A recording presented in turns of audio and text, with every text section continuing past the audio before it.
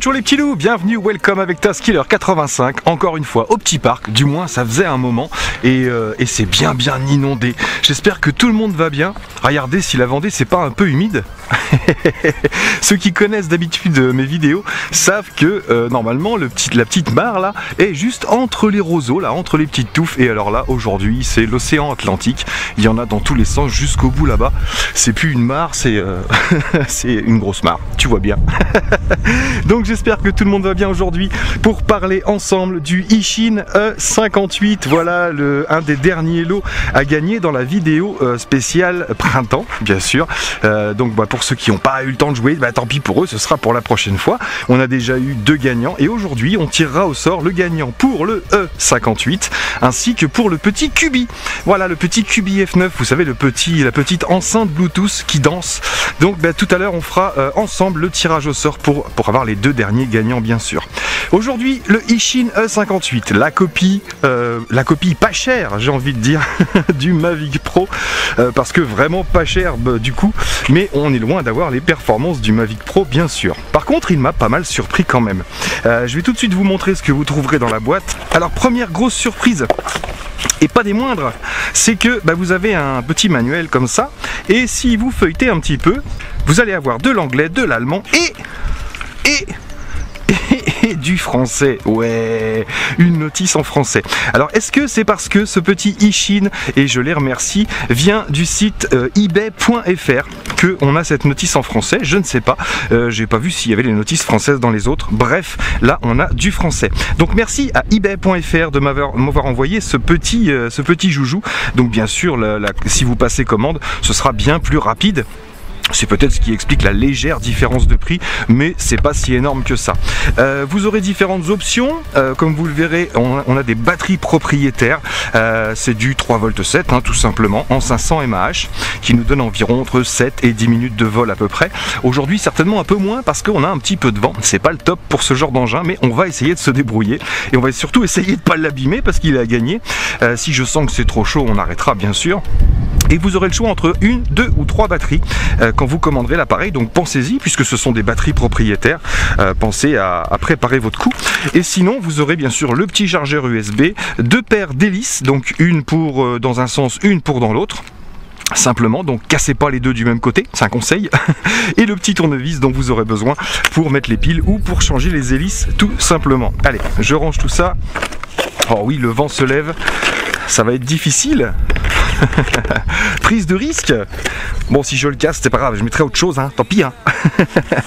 Donc voilà, vous savez que j'aime bien quand ça se tient tout seul comme ça, vous voyez, je tiens la radio et là j'ai tout en main. Alors non, c'est pas un jet ski, c'est pas un skidoo qu'on a ici, c'est juste que j'ai mis les protections d'hélice. Je vais les retirer rapidement. Je vais tout de suite vous présenter la radio. Et juste après, je vous parle de l'engin. Alors cette petite radio est tout en factice, mais de bonne conception, ma foi, bien compacte, elle tient bien en main. On a ici un large support pour pouvoir mettre un vraiment grand téléphone. Je pense que mon nouveau tiendra. L'iPhone 5S tient parfaitement, évidemment, mais le nouveau tiendra aussi, je pense. Euh, sinon, c'est une radiocommande mode 2 avec maintien d'altitude. Bien sûr, pas GPS sur ce petit appareil.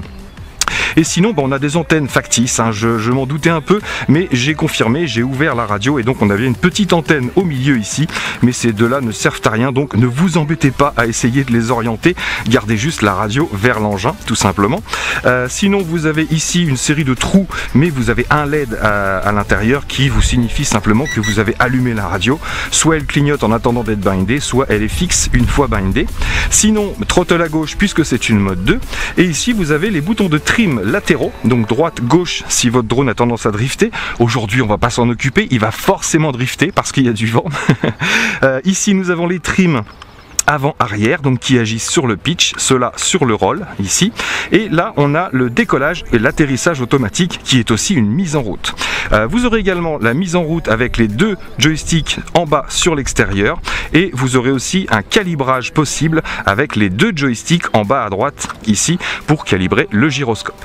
Euh, vous avez également quatre petits boutons sur le dessus Alors dans l'ordre, le premier ici sera vos vitesses. Vous avez trois vitesses différentes avec les 1, 2 ou 3 bips à chaque fois. En dessous, vous aurez les flips automatiques ainsi que le coupe-circuit.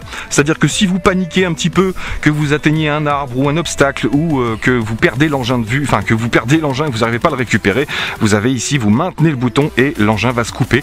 Donc bien sûr, essayez de ne pas être à 50 mètres de haut sur du bitume parce qu'il va moins apprécier forcément. Essayez d'être au-dessus de l'herbe généralement quand vous commencez. Et sur la gauche ici, euh, vous aurez bien sûr photo, vidéo, mais sur cet appareil là, euh, il est plus recommandé d'utiliser l'application les photos ont fonctionné, la vidéo a du mal à partir, l'engin clignote mais la vidéo n'est pas forcément sauvegardée.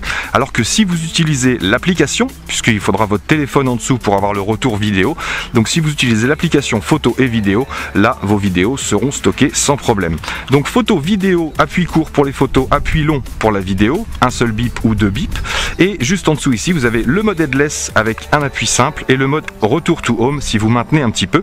Alors le retour to home, vous le savez, il faut bien initialiser votre drone au départ, par exemple, là je peux l'initialiser dans ce sens-là, c'est-à-dire que euh, quand je passerai en headless mode, il faudra absolument que je reste dans cette direction-là et j'aurai toujours l'avant par là-bas, même si mon drone se tourne, quand je pousserai, il ira par là-bas. Donc vous avez compris le principe, sinon retournez sur mes anciennes vidéos, courez le son, vous apprendrez ce que c'est qu'un headless mode.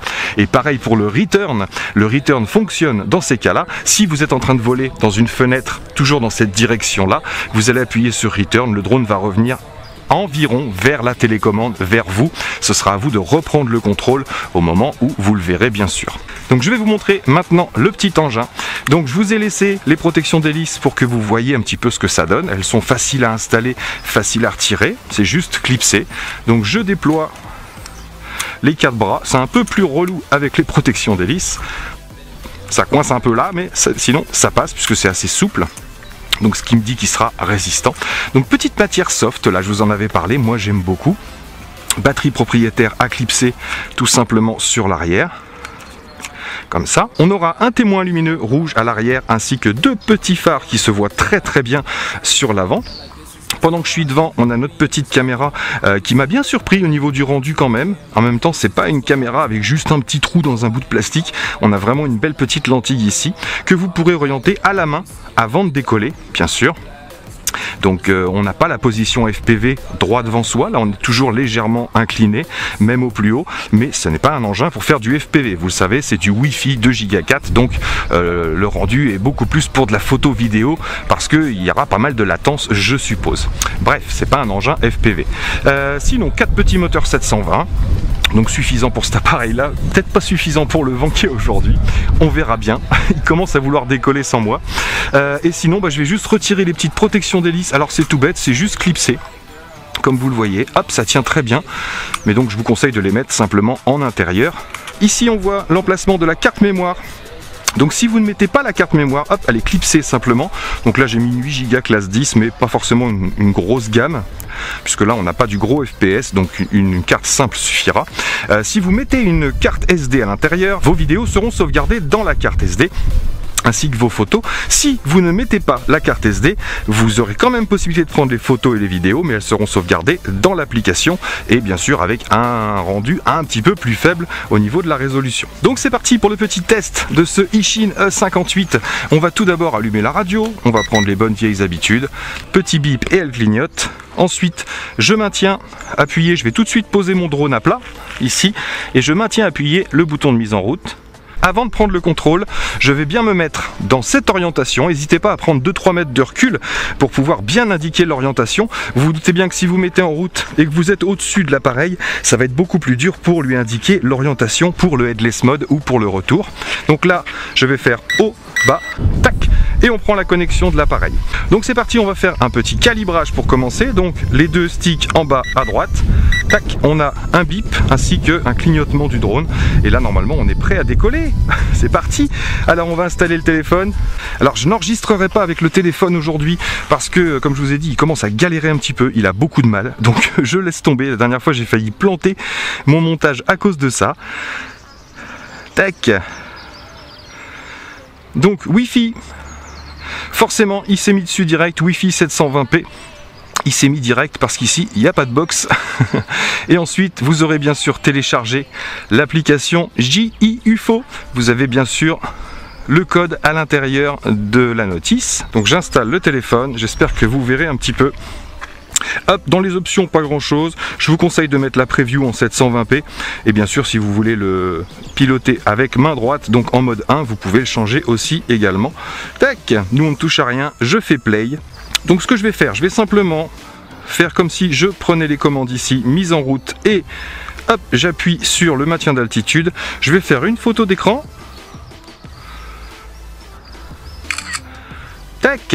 Voilà, comme ça je vous mettrai ça directement en incrustation, vous aurez à peu près toutes les fonctions. Je vais refaire une deuxième je vais faire une deuxième photo d'écran avec les options. Voilà. Comme ça, on va pouvoir détailler ensemble. Donc, le premier icône. Alors, bien sûr, là, j'ai mis en route pour si je voulais prendre les commandes avec le, téléphone. Là, ça ne m'intéresse pas aujourd'hui. Moi, je préfère piloter avec la radio. On va juste se servir du smartphone pour prendre des photos et vidéos. Donc, vous avez euh, de gauche à droite le prise de photo, prise de vidéo. Juste après, vous avez bien sûr les dossiers dans lesquels seront stockés euh, vos photos et vidéos. 30, euh, 60 et 100 100% pour les vitesses. En dessous, c'est pour les flips à 360. En dessous, on a un petit micro, mais qui ne sert pas pour ce drone-là.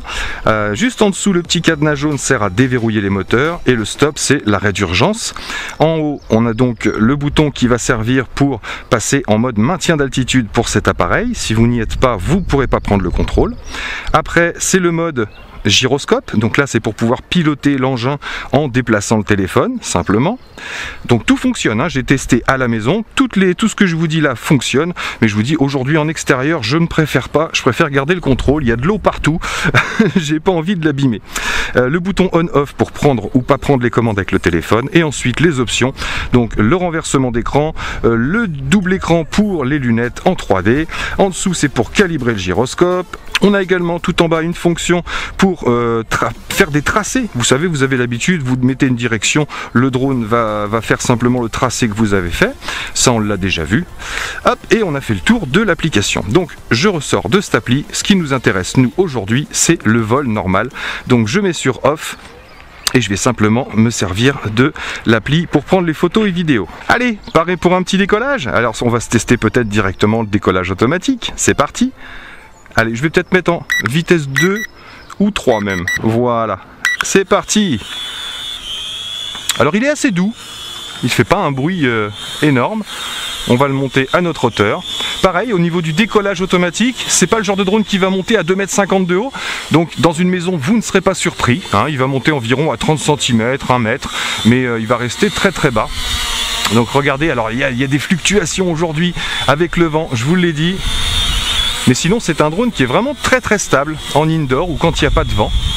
Donc là, forcément, je suis obligé de contrer toujours parce qu'il va vouloir se barrer dans le sens du vent. Hop, allez, on va tester un petit peu le pilotage tout de suite. On va prendre un petit peu d'altitude. Alors, vitesse 1, qu'est-ce que ça donne? Donc, vous saurez que les trois vitesses n'influent pas sur la rotation. Regardez, je vais le passer tout de suite en mode headless. Donc, un appui court sur l'arrière ici. Donc, ma télécommande va biper. Hop, je le maintiens, je tire vers moi. Voilà, et voilà pour la vitesse 1. Vitesse 2. Et vitesse 3. Hop là Pas évident à contrôler avec le vent.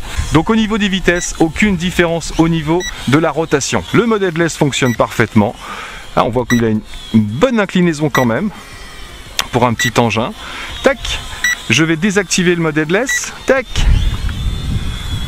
Oh, elle veut vraiment aller là-bas, hein. je vais avoir du mal à le tenir aujourd'hui. Regardez, dès que je lâche, hop Allez, c'est parti, une petite balade. Ah, il va forcer aujourd'hui. Hein. Donc on a une distance de contrôle avec la radio entre 50 et 80 mètres d'après les données. Moi je suis parti à 50 mètres mais j'ai pas été beaucoup plus loin. L'antenne est toute petite dans la radio mais ça a l'air de fonctionner. Donc il a de bonnes, euh, bonnes petites réactions. Il est facile à piloter. On va se tester tout de suite les flips. Oh là là, il a du mal. Regardez la vitesse où il va revenir. Je ne fais rien. Alors, on va essayer les flips tout de suite. Bouton de flip et je mets une direction à gauche. Hop Ah oui, propre. C'était mon premier flip. À droite. Hop. Donc un petit appui court sur le bouton de flip. Alors pas d'appui long, je vous l'ai dit, c'est l'arrêt d'urgence. hein. On va se tester le flip en avant. Je vais essayer de le mettre sur le ciel. Hop, flip en avant. Ah non, c'était sur le côté.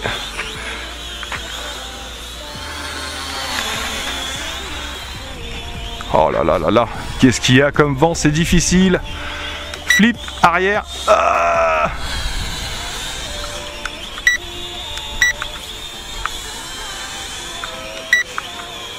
Ah, alors j'ai pas de flip avant ni de flip arrière. Non, tout à fait, vous le saurez, on n'a que les flips sur les rolls, gauche et droite. Je n'ai pas de flip avant et pas de flip arrière. Je ne le savais pas, je le découvre en même temps que vous. Oh là là, quel vent, quel vent aujourd'hui. Ah non, pas de flip arrière ni de flip avant. C'est étonnant. Mais bon, pourquoi pas. Alors, on va se tester un petit atterrissage automatique. Tac. Je le contrôle, bien sûr. Et on est posé. On va refaire une petite- petite calibre.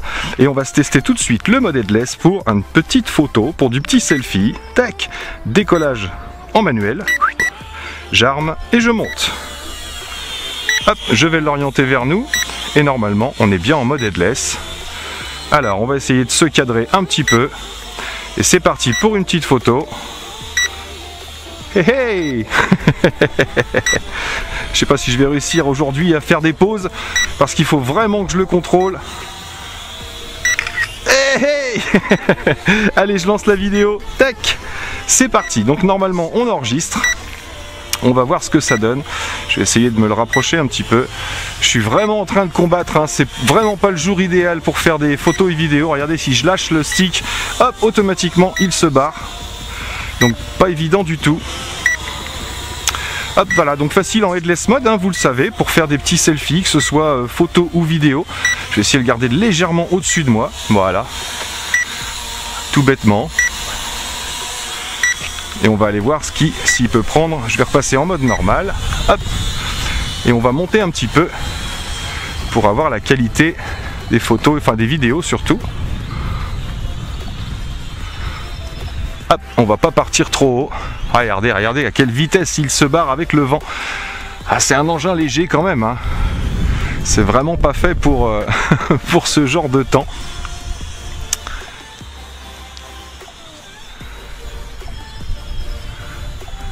Je combats, je combats.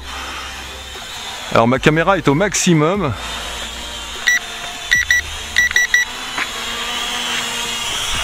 Hop, il se pose. Je suis en fin de batterie. J'ai l'impression il s'est posé tout seul. Hop, je vais couper la vidéo avant de perdre les données.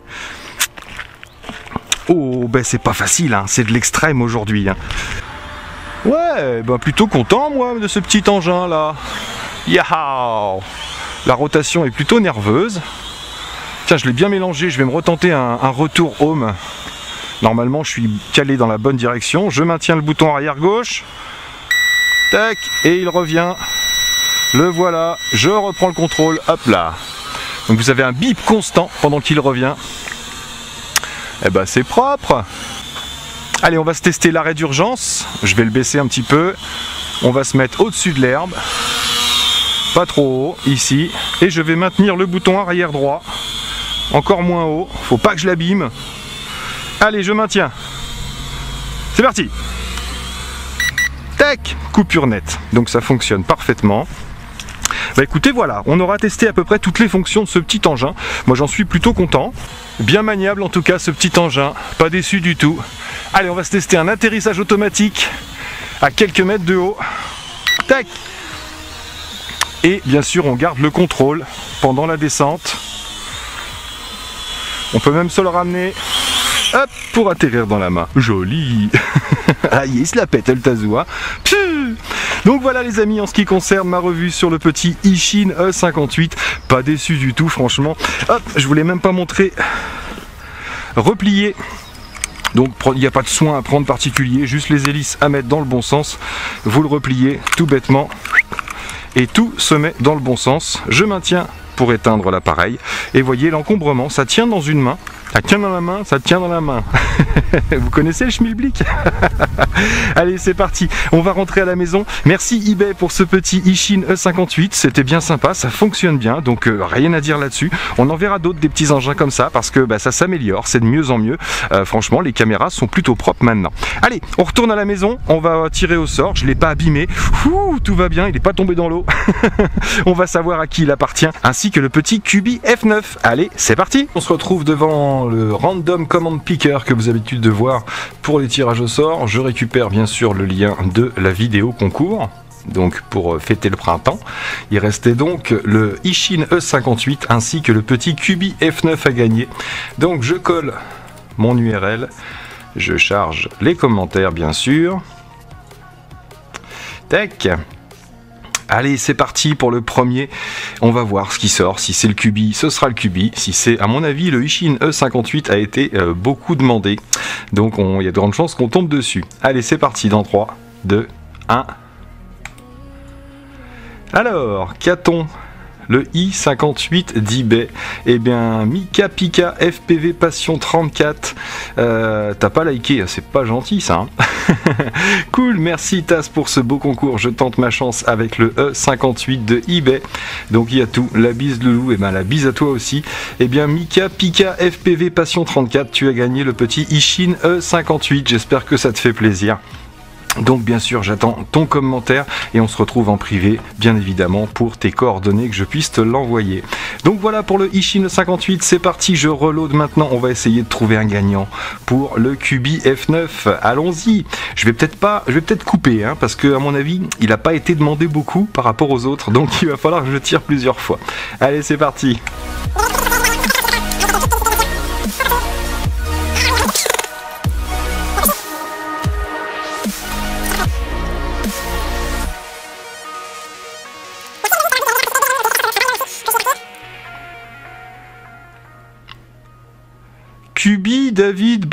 Banggood. Eh ben, un autre Ludovic. Ça y est, on a trouvé un gagnant. Oui, le Cubi vient bien de chez Banggood. Donc, Ludovic Roman, tu as gagné le petit Cubi F9. Merci à toi de ta participation, c'est cool.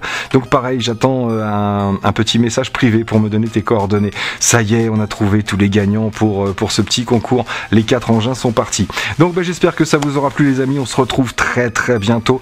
Portez-vous bien et à bientôt dans mes vidéos. Ciao, ciao